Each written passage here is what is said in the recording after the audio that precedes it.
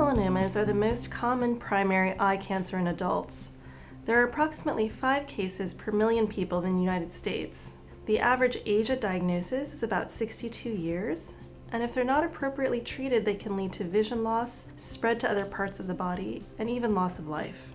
The diagnosis of choroidal melanoma is usually made through a combination of the exam as well as imaging tests such as ultrasound. Part of the initial diagnostic workup usually includes imaging of other parts of the body to make sure the tumor has not spread.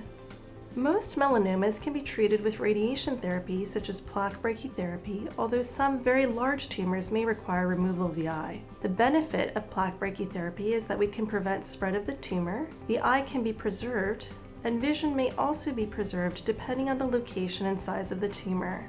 Plaque brachytherapy requires two surgeries, one to place the plaque and one to remove it several days later.